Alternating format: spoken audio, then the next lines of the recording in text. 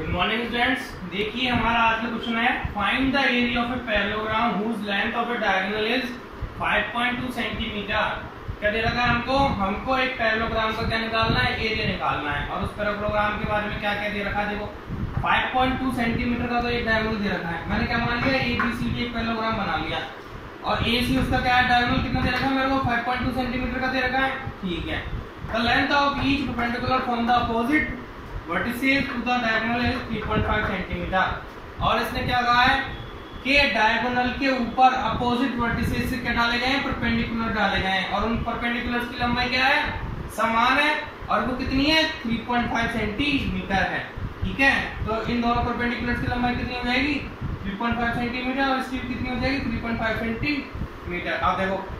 Area parallelogram का formula मैंने आपको क्या लिखवा रखा है? 1 by 2 into diagonal into sum of perpendiculars on diagonal. ठीक है? 1 by 2 की जगह पे 1 by 2 डायगोनल की वैल्यू कितनी मेरी? 5.2 सेंटीमीटर 5.2 रख दिया यहाँ पे. Sum of perpendiculars on diagonal ठीक है? तो पहले डायगोनल कितने डायगोनल के ऊपर परपेंडिकुलर कितने सेंटीमीटर का था? 3.5 सेंटीमीटर का. और दूसरा परपेंडिकुलर भी कितने सेंटीमीटर का है? 3.5 सेंटीमीटर का है. बस, आपको सॉल्व करना है. One by two into five point two three point five को थ्री पॉइंट फाइव जोड़ देंगे तो कितना आएगा? सेवन आएगा।